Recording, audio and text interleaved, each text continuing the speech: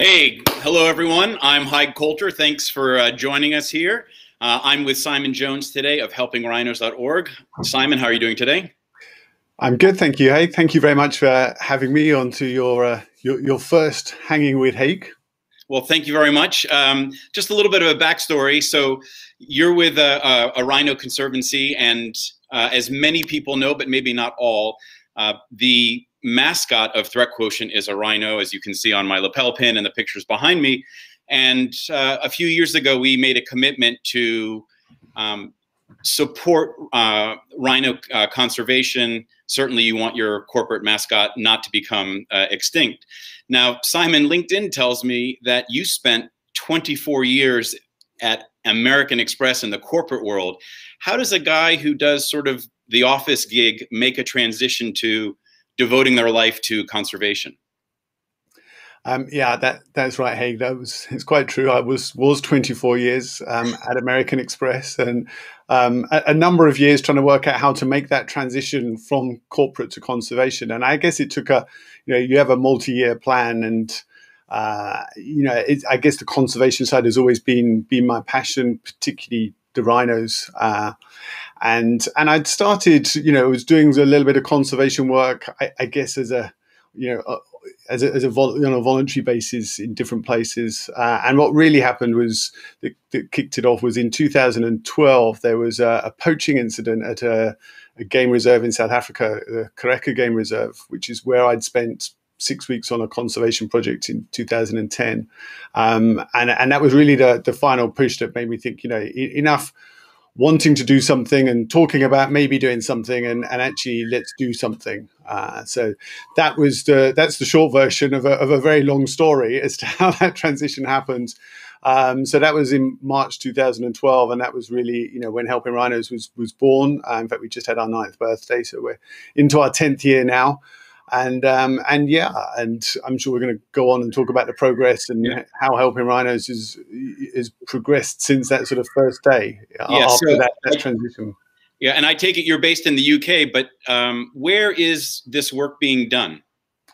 Yeah, so so we're based in the UK. Well, our headquarters are here in the UK. We actually have registered offices in the US as well, um, and and although we haven't made the public announcement, so I guess I'm kind of doing that now. But we, we also have a, an officially registered office in the Netherlands now as okay. well. So so we, we we've become a sort of a truly international organization in terms of what we do, and I guess that's the the point to try and highlight. You know, we we are here as an international NGO to, and, and our role as, as with any international NGO is essentially providing the funding and rate or raising the funds that we need in order to continue our work on the ground. Um, so, so that's the work that, that I do on a day to day basis, as well as then liaising with our, our guys on the ground. And we've got a number of different projects um, that we have predominantly across South Africa and Kenya. So we're focusing um, for now on the African species of, of rhino. Uh, and we have projects like, um, so we have a rhino orphanage um, that we work with uh, in KwaZulu Natal, which is on the east coast of South Africa. Uh, we also work with the Black Mambas, which is the you, I think you've heard of before, the first all-female anti-poaching unit um, that was formed. That's up in the, the Kruger National Park area area known as the Greater Kruger Park. Um, we also then um, doing some work, um, sort of more widely, I suppose, looking at what we're calling uh, rhino strongholds, which is looking at a, a, sort of very holistic approach to rhino conservation. Um, so know. actually, that's you bring up an interesting point and a question that I had. So. Uh, I've certainly heard of the Kruger National Park, but I, I don't know what the difference is between protecting an animal in a park versus um, a stronghold. So, can you maybe go into a little bit of detail as to the difference between having animals in a in a protected park versus whatever the definition is of a of a stronghold by comparison? Yeah, sure. So, so a, a national park is a government owned park that's there to protect its wildlife um, and, and, protect it as a wild space, if you like. So, um, if you look at where wildlife, you know, is still lives today, um, you know, a percentage of that wildlife is in national parks, um, but there's also a, a, large percentage in privately owned either reserves or conservancies as well. Um, now, there's what we term as a rhino stronghold is really looking at an area, and it could be a national park or it could be um, a privately owned reserve or conservancy. Um, and the difference between the two is really just different names in different parts of the the, the, world, um, but essentially the same sort of thing. Um, so, so what we're looking at as a stronghold is looking at you know at a holistic level, you know, how safe is the rhino from a security perspective? you know, we, I'm sure many viewers will understand that rhinos have been poached, you know, over the last 10 to 12 years at a, at a rate that's, you know, threatening them with, you know, the very real threat of extinction, um, you know, in, in our lifetime. So, so it's looking at what's the security, but, but there are other threats to rhinos over and above the, the poaching threat and the security threat, like loss of habitat. You know, we hear all the time in the news about climate change and, you know, human population growth. Um, in 50% of the forecasted population growth, according to uh, uh, an uh, United Nations uh, survey, is due to happen in Africa by 2100. So, how do we manage that human population growth with the needs of wildlife and the needs to create wild spaces and what that does for, for climate change and biodiversity and ecosystems? So, we're looking at that, but we also have to look at the local people that live around these wild spaces. Um, and how do we ensure that the local people are benefiting from wildlife being there? So it, it's about not having wild spaces that's either for the benefit of humans or the benefit of wildlife how do we how do we find a way to ensure that, that both are able to benefit equally from this space so that's what we mean by a rhino stronghold um, you know to, to put that into context and you know a little bit easier to understand. So, you know, one rhino stronghold that's kind of been created, if you like, um, for, for a, a, number of years now is this Greater Kruger National Park. Mm-hmm. So you have the Kruger National Park, which is uh, you know the government run by the South African government, and then on the western border are a number of private reserves. Um, and what's been happening there over the last few years is that actually we've been dropping fences between these private reserves, between themselves, and also between the national park itself. So you're opening up that this greater Kruger area that allows a natural migratory uh, pattern um, of behavior from from rhinos and and all the other wildlife, whether it's elephants, lions, and and and everything small in between. Um, so that's that's kind of a good example of what we're trying to now create in terms of other rhino strongholds. So it's looking at these areas. How do we combine existing wildlife areas, you know, by dropping fences and, and allowing that more natural migratory behavior or just even natural behavior? Um, you know, you, what we see today is a lot of human hands-on management. So if you've got relatively small, and you know, when I say relatively small, you know, it can take you a half a day to drive around some of these areas. So you know, we're not talking around you know safari park type small, but we're talking around areas where you know you, you would typically have you know as a, as an example if a if a male rhino is getting older you know and is being threatened by an incoming male that older rhino would move on and find a new territory the new male would come in well as it stands today we have to manage that but you know with human inter- intervention because the, there's too many fences in place. So we have to bring in a new rhino, take out the old rhino, and manage that ourselves. So it's how do we allow that more natural behaviour by dropping those fences, combining areas, and that's what we're focusing on. Um, really within certain areas within South Africa that we're working, and also our partner in Kenya, um, which is Ol Pejeta Conservancy. Um, as well. So so it's looking at that that bigger picture as well as continue to focus on everything that we've been doing for the last nine years and, and building on those achievements um, and, and and those strengths that we have in place. So you're you're helping fund um, both the parks, the conservancy areas, and then the people who are supporting that protection. You you touch very briefly on the black mambas, and I'd like to just go back to that for just a second. So uh, I know the black mamba is a um, highly venomous snake, and you mentioned very briefly that uh, this is a um, a group of uh, all female volunteers. Can you just go maybe into a little bit more detail about who they are exactly, how they got started, and, and where they're working? Yeah, sure. So, so the black mambas are working in that on, on, in the Greater Kruger National Park that I just spoke around on, a, particularly on one of the reserves there called the Balule um, Nature Reserve. Um, they're, they're just they're, they're, not volunteers. They're um, so they are oh. paid oh. employees. So you know, so what what we looked at with the, the founder of the Black Mambas, a gentleman called Craig Spencer, was, you know, how can we come up with an innovative, something innovative and something different to try and conquer the the poaching threat that we had, you know, so so. And to give you an idea, when you know when we were looking at sort of Black Mambas formed around the same time as Helping Rhinos did, and that was 2012. And you look at 2014, and we lost in South Africa alone over 1,200 rhinos to poachers that year. Um, so, you know, to put again into context, that that's one every five to seven hours. Um, every five to seven hours, every day on average, we were losing a rhino at the hands of poaching.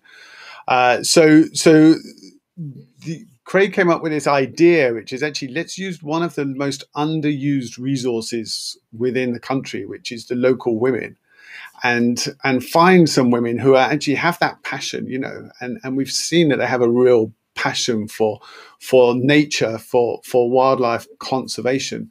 And we trained them on two different levels. One was how how do they be how how can they become anti-poaching rangers you know in in a particularly back then what was a you know almost like a, a war environment in terms of how you know in terms of military based um, but also they're also got to operate in a big five game reserve. So it's not just around how do you operate and how do you recognize signs of insurgents that's come through the fence from potential poachers, but it's how do you go and walk out. So they walk every day, 20 kilometers up and down a fence line, oh. checking for signs of insurgents, um, either animals getting out or more importantly, poachers coming in.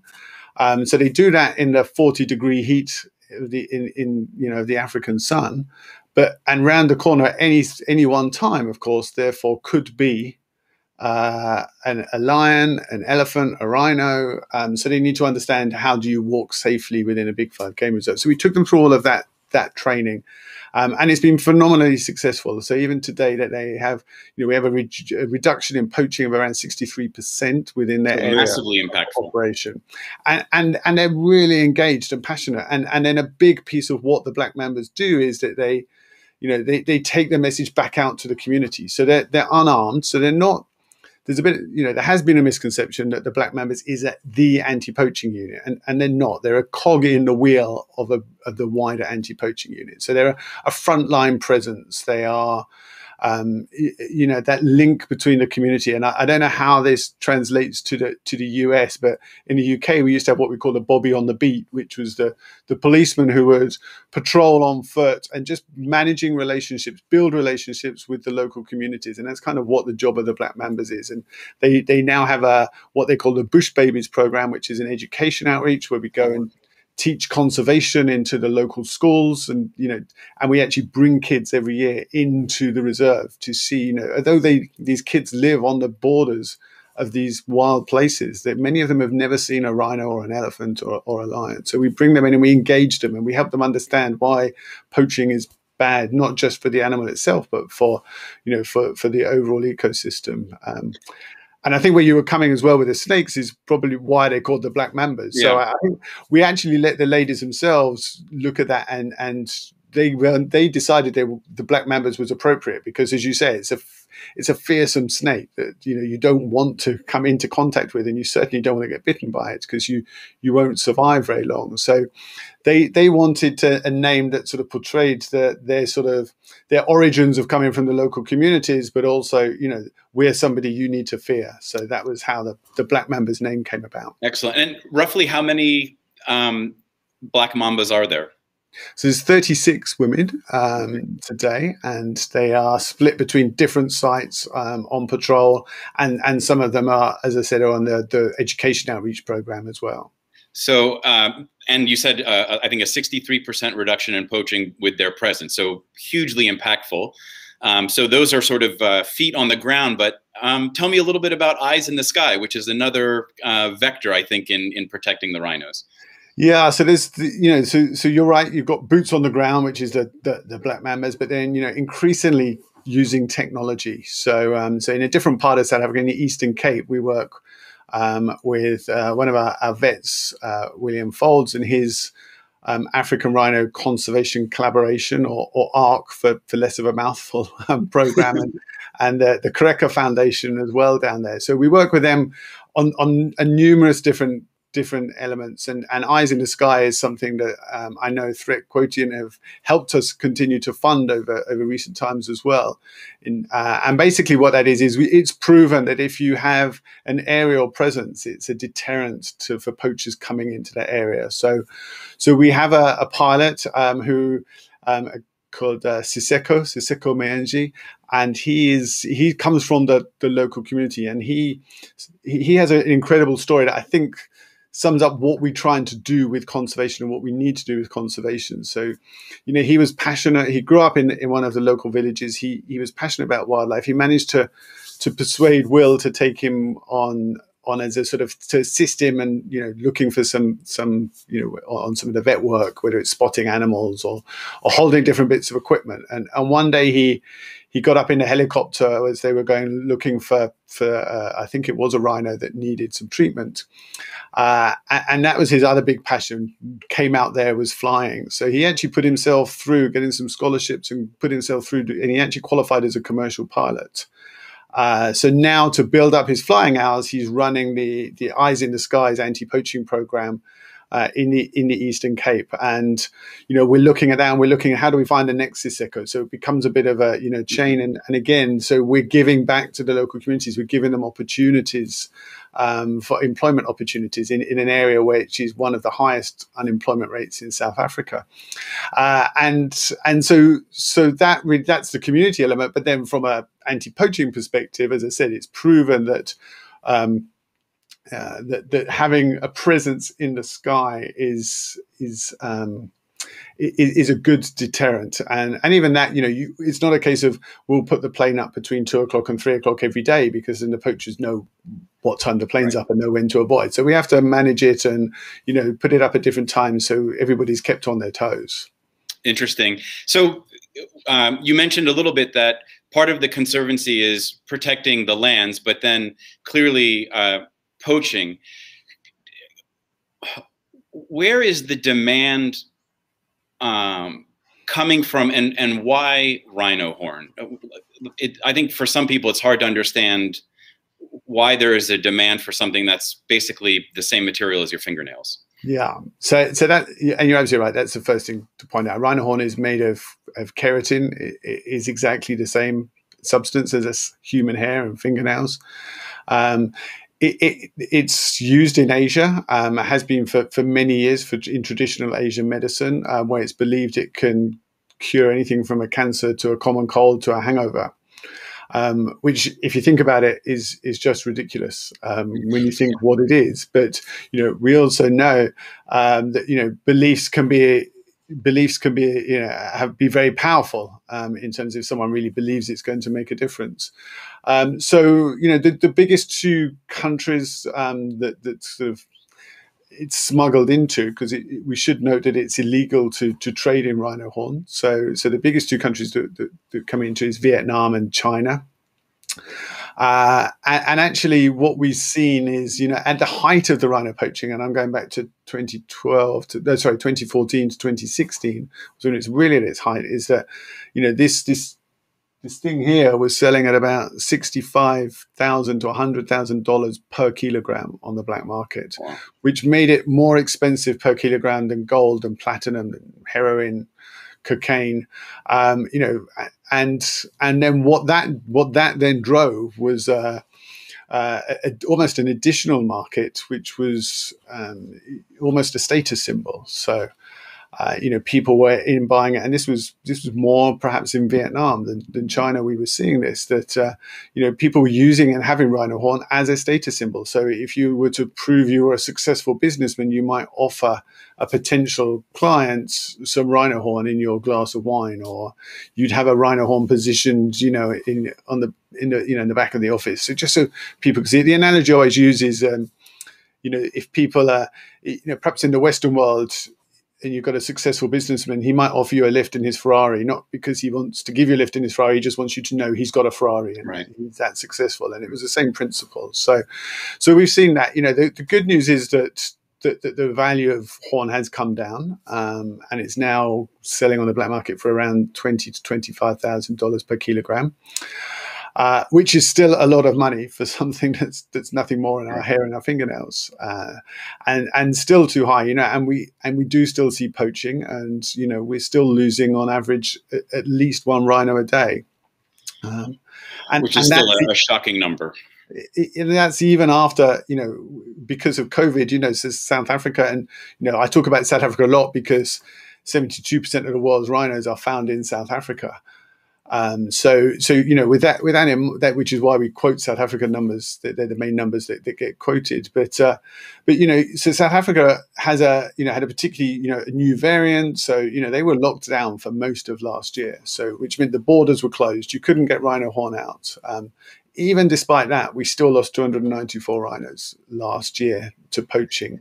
So um, interesting. So uh, a, a, planet that has largely been shut down for the last year still really hasn't changed the demand for the horn. I, I think the demand is slightly reducing. We're definitely seeing that the um, the the demand for the status symbol is is lessening, um, which is a positive, you know, and that has a natural cycle. I think anything where things are a, are a fashion, if you like, you, yeah. you you see that cycle. So that that's encouraging. You know, we, we, and we have to cling to that. You know, we we lost a thousand rhinos less last year than we did in 2014.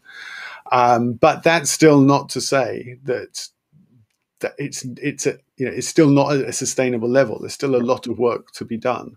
So if the demand is coming from places like China and Vietnam, has there been um, an effort to try to do education in the places where there is demand to say, yeah. look, this this doesn't do anything, and, and you're actually hurting uh, a species, and you're you're risking driving them to extinction?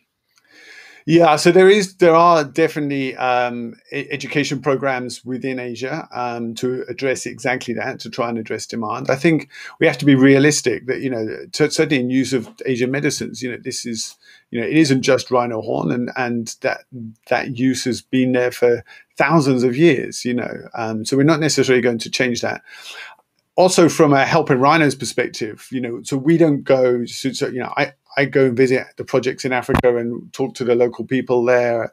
But but I don't necessarily go to, to Asia and start educating because I'm just another Westerner telling uh, you know someone from Asia how to live their lives. You know, and they would argue that that that's you know their, their beliefs they they equally as we tell them it has no medicinal value they believe it does you know so um so we have to to try and manage it so what we do is we work with um partners based in those countries to run those education. So, for example, we funded um, a number of students in Vietnam to go through the first official conservation scholarship and university program. Oh.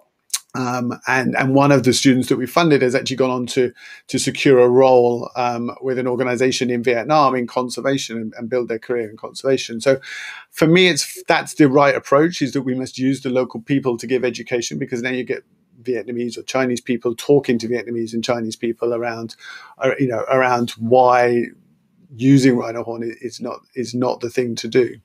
So, so the short answer to your question is yes, that does happen. Yes, we do work and fund some of that through um, through some of our Asian partners. Um, but but our I suppose our our main focus is the protection side of it. So if you think about the two sides, there's prevention, there's protection, there's prevention um, and both need to happen. Uh, and certainly, I believe that that we must, in in conservation world, you know, not try and believe we can be everything to everyone. You know, right. it's all about people playing to their strengths and where can you have the biggest impact. You know, our biggest impact is is undoubtedly on the protection side with the contacts and the people that we we have um, and our projects in across Africa. And then, as I said, on the prevention side in in Asia, we'll work with the local people and support them where where where we can. So you're doing an incredible job supporting people in the air, people on the ground, people in the parks. How can people listening now help you help all of those people? So, so there's there's many different ways. Um, the first thing people will probably expect me to say is donations, and, and I will and I will come to that. but um, but actually, you know, uh, let me start with something that, that, that isn't maybe quite so obvious, um, which is actually just following helping rhinos on social media. Um, okay. For example, we post a lot of things every day, you know, information around what's going on in the world of rhinos. So, you know, part of the biggest problem is is getting the word out there so people really understand um, what's the challenge. So, so follow us. We're it's very simple. We're at Helping Rhinos on every single social media platform. So follow us on there. Um, visit the website, which is helpingrhinos.org. Um, I think it's up on the screen at the moment. So, so visit the website as well. There you can make donations. As I, as I mentioned before, you know, for, for all of for all of the, the great work that we're doing with our projects on the ground, none of that can happen if we can't provide the funding to make it happen. You know, whether it's putting up fences around, you know, to to reduce wildlife, human wildlife conflict, um, whether it's putting pulling fences down to open up areas just to pick two examples around fences that all takes funding. Right. um, you know whether it's we're actually in the process at the minute of, of building a, a, a school um, on the borders of one of our reserves so that kids can get a much better start to their education. That takes a lot of money. We're fortunate to have a sponsor who, who's helping us with that. So so they're the key things really. You know there's there's stuff that we can do at home. It's understanding it's engaging with organizations like us you know, like helping rhinos, um, and, and helping us to do what we do. Um, and I guess that's from a threat quotient perspective, Haig, is, is why I'm so appreciative of our partnership because you really are helping us on both those levels. You know, I know you're out talking about rhinos and helping rhinos at the various events that you have, which is phenomenal. And you're also, you know, you, you've you've made some donations through through some of those in the past as well. So they're they're kind of the key ways, I guess, that people can can help. You know, once you get onto the website, you'll find things like our, our new sustainable range of clothing, for example. So it's all organic cotton. It's what we call um, circular fashion. So, in other words, you buy a T-shirt that says "Helping Rhinos" or has a rhino image on it, so you're helping to spread awareness. The profits of that comes into helping rhinos, and then from an environmental perspective, when you're bored of it or finished with it, you send it back to where you bought it from, and then they recycle it and make a new T-shirt out of it. So, from an, so it, it's a win-win in all in all levels. So, uh, I think all you know, all those there's many different things, and, and the website is the best place to find. Okay, wonderful. And I will say that. Uh, certainly when we do um, trade shows and events, every time we scan a badge, we um, make a dollar donation uh, to helping rhinos. And I do want to say that, uh, Simon, we very much appreciate your time today. And uh, as Threat Quotient's way of saying thank you, we're making a donation today to helping rhinos um, as well. Now, I love sort of wrapping things up on more of a high note. And people who know me will say that, you know, I'm kind of a person who has uh, a lot of random facts bouncing around uh, in his brain, and I will sort of say rando things all the time. But I would love to hear something interesting about rhinos. I, I, would say that they're certainly one of the most recognizable animals, which is why obviously we have them as a as a company mascot. But they're such big animals. Do they make a sound? Like Tell us something interesting about rhinos that maybe people listening here wouldn't know. Okay, I, I, let me so, but, but let me just go back, hey, if I can, and just say thank you for your it is our pleasure donation. Um, I really appreciate it. So, so thank you very much um, for that. Um, in terms of interesting facts, parents, well, there's so many interesting facts, and, and we did talk about this before, and, and they do rhinos do make an interesting noise. So I actually have a little clip here um, because I thought you might ask me this around how can I, what is the noise that uh, a rhino makes? So, so let me just play this little clip. Hopefully the sound will come out and, you, and you'll hear this. Uh, let's just, let's just see if that works. I think we just have to let the, uh, the team in the back go. There you go. Um, right, so if I just play this, you'll hear the noise.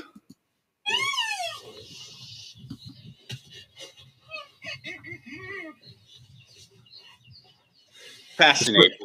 So it's very short. Let me just just play play play it again. If it goes, do you hear that again?